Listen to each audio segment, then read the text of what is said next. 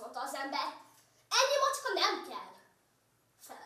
Általános és középiskolások, valamint a magyart, mint környezetnyelvet tanuló diákok vettek részt a Tóth Ferenc vers és prózamondó szemlén. Ez bővíti a szellemi egyéniségét is az embernek, és a tudását is, és a világképét is bővíti az embernek, hogyha verseket olvas, illetve mond el. Most én erre a szavaló versenyre ö, Csorba Béla író-olvasó találkozó, illetve Ágai Ágnes Kamasságok című versével érkeztem.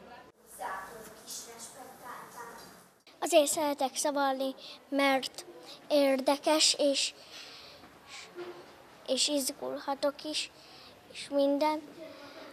És máma elmondta a Pap József Dávidka tüskét is, majd mondom a Kányádi Sándor hallgat az erdőt. Öt csoportban zajlott a megmérettetés, a produkciókat három tagú szakmai zsűri értékelte. Nagyon sokan produkálnak iszonyatosan jó szövegeket, és olyan ö, gondolatokat közölnek, amit látom, hogy nem csak a költő akarta mondani, hanem ő is belevisz valamit, és ezek a legfőbbek, tehát hogy ő értse a szöveget, a kiállása jó legyen, tudjon kommunikálni a közönségen.